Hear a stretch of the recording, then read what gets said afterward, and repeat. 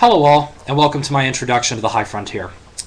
Hopefully, the next series of videos, if I can avoid uh, making every video response to um, improper arguments and helping skeptic, fellow skeptics clean up their work, will be about the necessity for uh, colonizing space in order to uh, help industrial society survive for the next 50,000 years.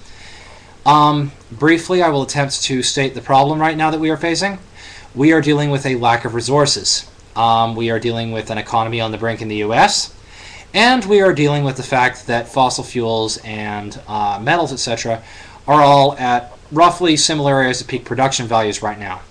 Second law of thermodynamics clearly states that uh, matter will always go towards entropy, and as a result, um, so will our industrial civilization. We need an influx of metals in order to be able to maintain, well, effectively, the knowledge, the technology, and the science we've had for the past century or better.